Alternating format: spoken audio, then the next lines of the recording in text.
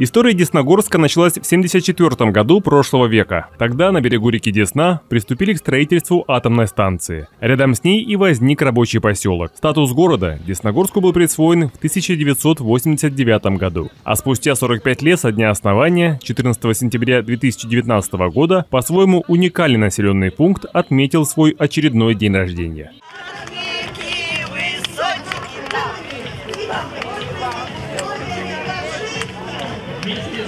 Обширную праздничную программу открыло шествие коллективов городских организаций. В составе колонны были муниципальные учреждения, представители промышленности, строительства, здравоохранения. Все старались как можно более ярко и оригинально представить свое предприятие.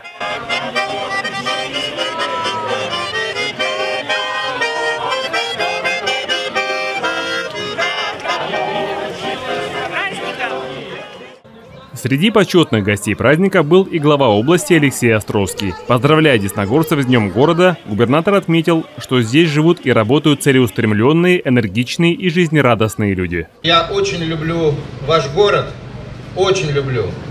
Очень люблю всех вас. Всегда с удовольствием сюда приезжаю. Хочется здесь подольше всегда быть и оставаться. И уезжать из Десногорска всегда очень не хочется. Я от всей души вас поздравляю с Днем города, вашего замечательного города, моего самого любимого в нашей области, после Смоленска, конечно. Всего вам самого-самого доброго, хорошего настроения, процветания вам всем и замечательному Десногорску. С праздником! Частью торжественного дня стало ежегодное обновление аллеи почетных граждан Десногорска. Врачи, водители, работники предприятий и активные граждане. 12 новых портретов профессионалов своего дела теперь украшают и вдохновляют каждого жителя Десногорска. Сердечно поздравляю вас с высоким признанием вашего добросовестного плодотворного труда. Мы гордимся вашими славными делами – приумножающими силу и мощь Десногорска.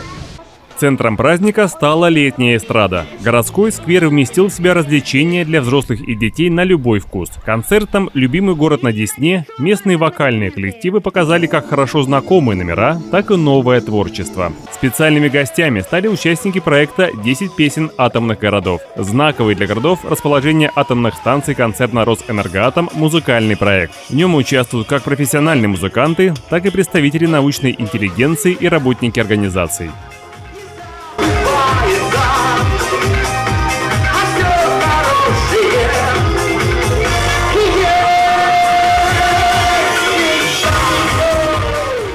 Позднее музыкальные номера представила кавер-группа Jump из Москвы, а также брянские артисты Лис и Лаплантия. А хедлайнером вечера стала Ольга Серябкина, известная под псевдонимом Молли.